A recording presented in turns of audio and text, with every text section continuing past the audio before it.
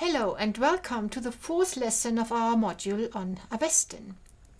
Today we are going to discuss the written transmission of the Avesta and in particular the different types of extant manuscripts. The oldest manuscript containing an Avestan text, however, is not written in the Avestan script but in the Sogdian script. This is a unique witness testifying to the wide use of the Avestan texts all over Iran. This manuscript predates our extant Avestan manuscript by more than 400 years and testifies to Avestan being written in another script than the Avestan script. We shall look at the Sogdian Ashemvohu again when we talk about the dialectal features of Avestan in the session on phonology. In the last session, we saw how the Zoroastrian priests created the Avestan script artificially. In doing so, they borrowed letters from existing scripts, in particular the Pahlavi book script, the Psalter script, and the Greek alphabet, and they created new letters by adding diacritic marks to existing ones. Once the script was created, they must have started to use it for writing Avestan. They could, of course, have written, have used it for writing any text, and this would, in all probability, have included the rituals. The manuscripts that survive to the present day are of two types. They either offer the Avestan recitation text as uh, accompanied uh, by the ritual instructions in Pahlavi or Gujarati, and this type of manuscripts are usually referred to as liturgical manuscripts. Of the other, the other group offer the Avestan text accompanied by a translation in Pahlavi or in Sanskrit, and these manuscripts are usually referred to as exegetical. The liturgical manuscripts have the Avestan text only and are therefore called Sade or pure, which is Avestan, which is Pahli, Persian. They provide the text to be recited in the rituals.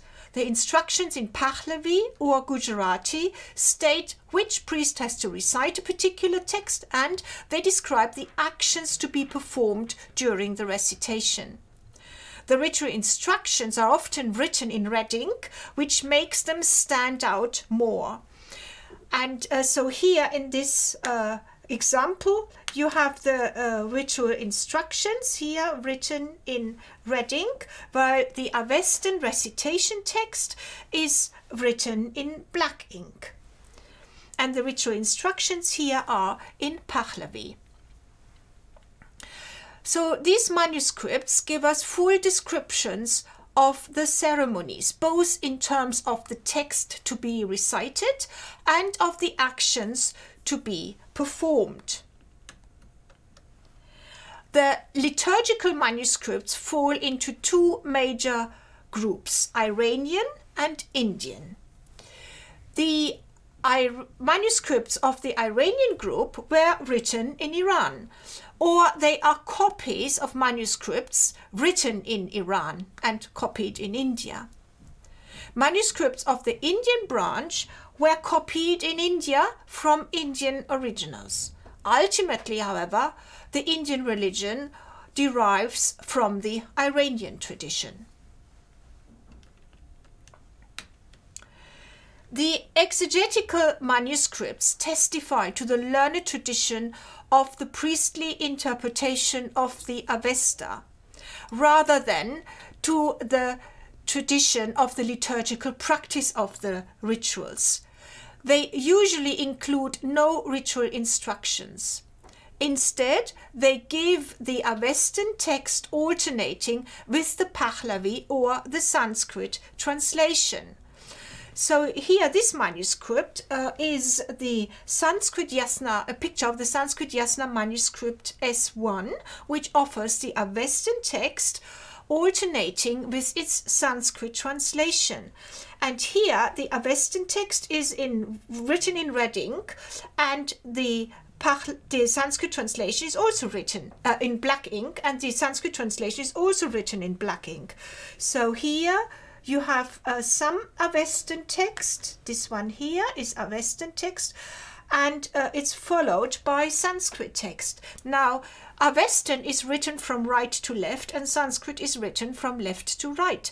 So, what the scribes did, who copied this manuscript, who wrote these manuscripts, when they had come to the end of an Avestan section, they just turned the manuscript upside down and then continued writing the Sanskrit text from left to right. And once they had reached the end of the section, so here this is the Sanskrit text then, and once they had reached the end of it, they turned the manuscript again upside down and then they continued here writing uh, Avestan texts from right to left. Then they turned the manuscript again upside down and they wrote the Sanskrit text from left to right and so on. So when you read such a manuscript, you also have to turn the manuscript upside down or flip your image upside down. We thus have here short portions of Avestan text alternating with short portion of the Sanskrit text, and often the Sanskrit text or the Pahlavi translation text is followed by a commentary. So this is the exegetical tradition of the Avesta.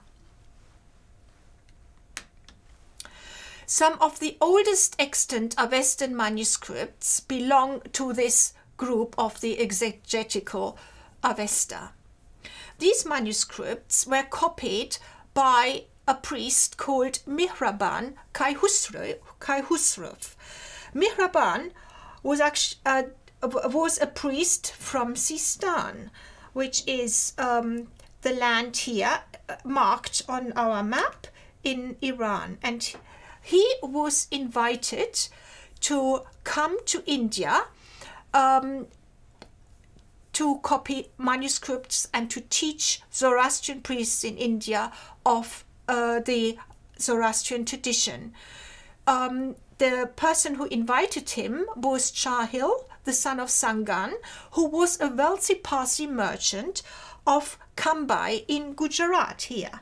So he invited uh, Mihraban Kai Khusrav to come over to India, and there in India, Mihraban copied manuscripts, and the manuscripts Avestan manuscripts which have survived of Mihraban are all bilingual manuscripts, so belonging to the exegetical tradition. Among the manuscripts um, copied by Mihraban are two manuscripts of the Yasna, and it's the Avestan text with its Pahlavi translation. And uh, these are the manuscripts J2 in the Bodleian Library, Oxford, and the manuscript K5 in the Royal Library of Copenhagen. Both of these manuscripts are dated uh, to 1323. Here you have an image of the manuscript J2 and again we have the Avestan text here which is for, uh, alternating with the Pahlavi translation and uh, the translation just follows uh, the Pahlavi text, the Avestan text, um, oft sometimes marked by little interpunction signs, as here at the end um, of a of a section when we have the language change.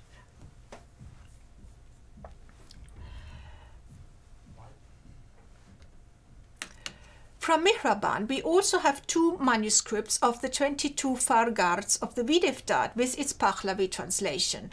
And uh, these are the manuscripts L4, also dated 1323 of the British Library in London, and the manuscript K1, dated 1324 of the Christian era in the Royal Library of Copenhagen.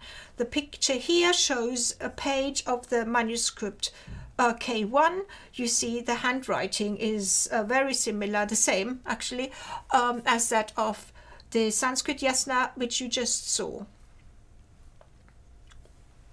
These four manuscripts are kept in European libraries and they were easily accessible, or relatively easily accessible, to Niels Ludwig Westergaard and later to Carl Friedrich Geldner when these two scholars were preparing their editions of the Avesta. Since these manuscripts were not only accessible, but also very old, the two scholars gave precedence to them over other manuscripts, in particular over the liturgical manuscripts. In their editions, the Avestan text of the Visperad, the Videvdat, and the Vishtasp Yasht is presented as it appears in these bilingual manuscripts by simply omitting the Pahlavi translation. But the way these texts are used in the rituals does not at all emerge from Westergaard and Geldner's editions. Moreover, the ritual directions are barely, if at all, recorded. Apart from other shortcomings of Geldner's editions, Geldner had access to only few, although important manuscripts of the Iranian ritual tradition. Many more Iranian manuscripts have come to light in recent years, and the time is now ripe for new editions which take the ritual performance into account. Teams in London and Berlin are currently working under the umbrella of the Corpus Avesticum on editions of the Yasna and the so-called Long Liturgy respectively, aiming at representing the rituals as they are performed. So this was the last video in the introductory section on the Avestan language. I hope you enjoyed it and I'm inviting you to join us in the next section on phonology.